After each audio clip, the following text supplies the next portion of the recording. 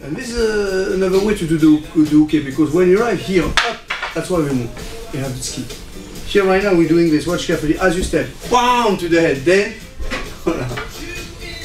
I wanna see. One. Don't move like this. Huh? Yes, he's gonna have you. Don't do this either. You need to wait him to come to you.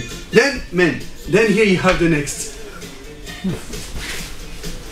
Watch carefully. Huh? Here the idea it's to not go like that. Huh? To not do this. To even not do that. He's gonna have you.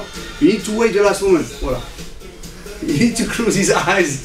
And here, one.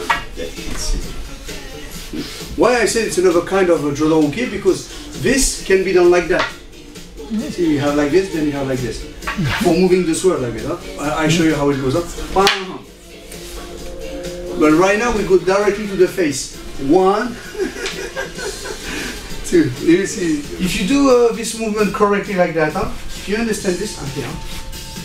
Voila, nice. If you understand this correctly, you have like that. Mina. No, because it's the same movement. You do like this, huh? Up. Huh? Ah. Ah, yeah.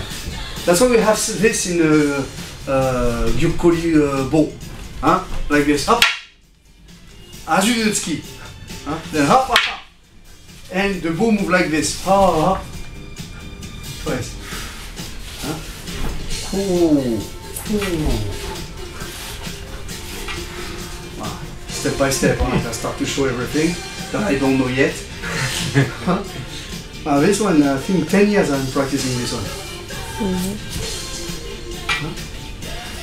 こういうことで最後にでまた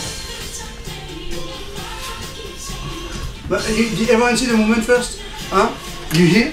Hira Ichimonji no kamae. Don't move like this. As you move. Learn to learn to slide with the bow. Huh? That's what you need for. But don't move with your hand. Well, this is what's gonna happen. Last moment to the hand, then again. Huh? Okay? It's alright? It's okay? Sure? Sure?